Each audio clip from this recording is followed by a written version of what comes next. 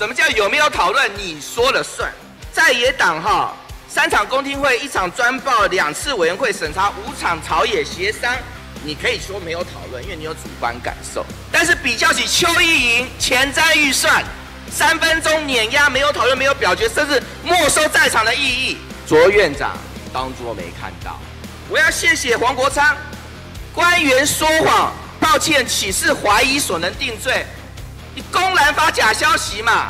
法学素养都不够，提出一个什么烂的一个复议案？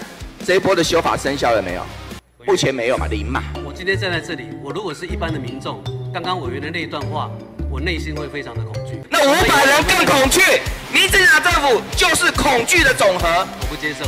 六百八十个案子，有五百个案子法院不裁罚，你民进党一句话说了算，把人民用社违法来移送，你就是一个恐惧的政府。首先，我要谢谢张启凯委员，好，你哈澄清了今天行政院复议的第一个假消息。这个总统到立法院哈听取呃就做国情报告并进行问答是违宪的哈。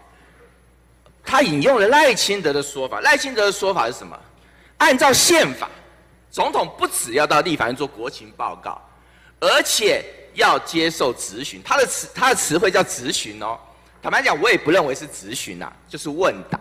好，所以谢谢张启凯，直接用赖清德的话打脸的行政院。我要谢谢洪孟凯，在行政院的复议里面跟我讲说没有讨论，讨论有没有哈？确实有一点主观感受了哈。当然有一个我们。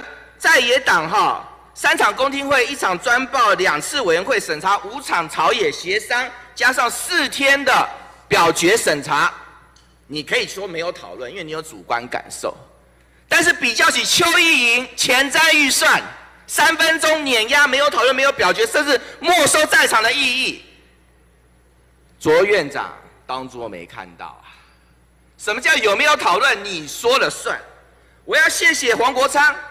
官员说谎，抱歉，岂是怀疑所能定罪？你公然发假消息嘛？官员说谎要成罪，要经过检察官，要经过法官做事实认定，没有怀疑就能成罪的。法学素养都不够，提出一个什么烂的一个复议案？国会改革法案生效了没有？请问院长，这一波的修法生效了没有？所以我们才提出复议啊。对，还没嘛，对不对？所以因此目前没有任何民众。按照所谓的听证调查来这边请求协助调查或出席听证嘛？没有嘛？目前没有嘛？零嘛？我今天站在这里，我如果是一般的民众，刚刚委员的那一段话，我内心会非常的恐惧。还好今天我我告诉你，那五百人更恐惧。我们今天有我告诉你，你没关系，我就谢谢你，要回答。你跟我讲恐惧，我告诉你，我接下来告诉你，那五百人是如何的恐惧。谢谢你回答“恐惧”两个字。民进党政府就是恐惧的总和。我不接受。六百八十个案子，有五百个案子法院不裁罚，你民进哪一句话说了算，把人民用涉违法来移送，你就是一个恐惧的政府。请问这算不算你伟大的院长你口中的侵犯人权呢？算不算？报告委员，这个有司法权的救济，甚至有些谢谢你有司法权的救济，我感谢你。这个怎么样？不是停，我只要到这边。我本来还没打算问到这一题，你先出来了。有司法权的救济啊，亏你讲得出口。今天说谎官员，按照这一次刑法修订，是谁来审判说谎官员的罪责？你一直说说谎官员，那到底谁是说谎官员？那，我要谁来判嘛？不是你判，不是我判呢？法院判呢？一个委员提案，就是你说的司法救济。谢谢卓荣泰，你打脸了卓荣泰。你听证调查，你讲司法救济嘛？听证调查在多重门槛之下，到最后如果人民不服，一样是行政法院救济，所以一样有司法救济。谢谢卓荣泰，你打点自己。按照警政署司法院监察院查核资料，我看到的资料，二零一一年到二零一五年，因为前面我也没有。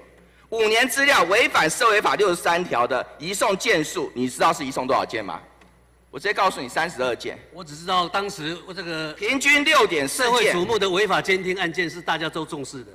啊，你要去扯别的东西，不在你复议范围那我们回归正途来。没关系哈。回归按照蔡政府哈，蔡政府二零一四年啊，二零一六到二零二三年这八年，好不好？六百七十三件，平均八十四点一件。来，我要告诉你，我我们回归负议案的讨论。没关系啊，我要就是回归你负议案啊。今天只要我们苏贞昌院长对信丰猪肉不爽，就去信丰猪肉就被查水表了。我们的陈建仁院长说这新北的谢先生买到黑心的绿色鸡蛋，他觉得是造谣，哎，马上警察八小时传人，半夜侦讯。这样的一个所谓滥权，在你眼中不是滥权。来，我跟你讲，国会改革听证调查的四大门槛。上认为你讲跟你讲四大门槛。第一道门槛有所谓拒绝证言权，好，因为时间不够。第二道门槛，一三位立委决议才能发动听证调查。第三道门槛，一三位立委决议才能够处罚。第四道门槛有司法救济。立法院这么严谨门槛，叫做侵犯人权。你民进党查水表政府叫做什么？无法无天政府啊！谢谢。